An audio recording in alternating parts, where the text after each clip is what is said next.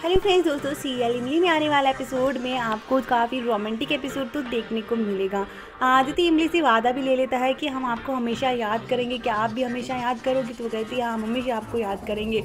और काफ़ी इमोशनल इनका जो है, बिछड़ना होता है यहाँ पर। लेकिन अब देखना ये कि आदित्य और इमली हमेशा के लिए एक कब होंगे। तो दोस्तों, दर्शक तो यही चाहते हैं कि आप सब तो यही चाहते हैं और हम भी यही चाहते हैं कि इमली और आदित्य दोनों एक हो जाएँ। लेकिन आखिर इसमें मालिनी का क्या है दोष? वो भी तो आदित्य से उतना ही प्यार करती है।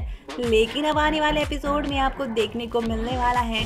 यहाँ पर रोमांटिक एपिसोड आपको देखने को मिलेगा, जहाँ पर आदित्य और इमली दोनों ही अलग तो हो जाएँगे, यानी आदित्य फिर अपने घर पहुँच जाएगा और यहाँ इमली पगडंडिया में रहने वाली है।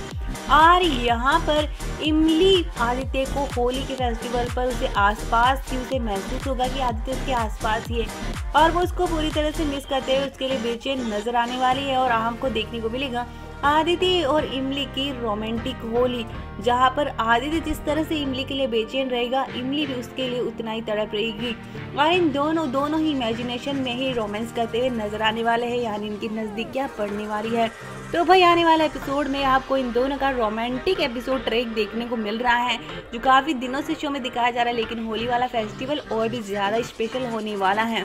वही मालिनी के सामने भी वो नशे में कुछ ऐसा कह देता है, जिसकी वजह से नशे में ही वो इमली का नाम बड़बड़ाते रहता है और मालिनी के सामने ये सचा जाता है कि इमली और आदित्य का कोई ना कोई रिश्ता तो ज़रूर बन चुका है। लेकिन कब आएगी उसके सामने? शादी की सच्चाई ये देखना इंटरेस्टिंग होने वाला और उसके बाद में मालिनी आखिर क्या डिसीज़न लेगी?